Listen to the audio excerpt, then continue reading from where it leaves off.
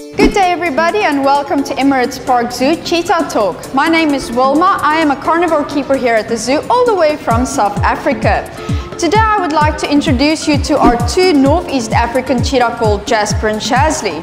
They come from a rescue attempt from the Saudi Arabia border where they were smuggled as part of the exotic pet trade.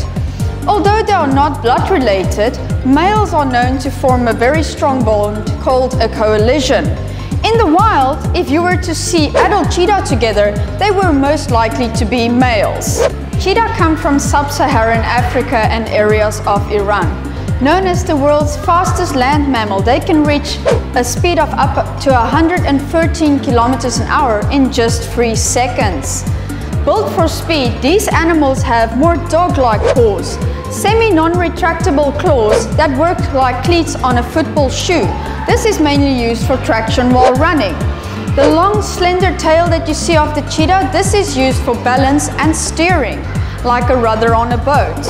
These animals can have up to 3,000 spots on their coat, also an amazing feature. Cheetah are known to hunt mainly during the day. Because of their structure and eyesight, they are better equipped to hunt during the daytime.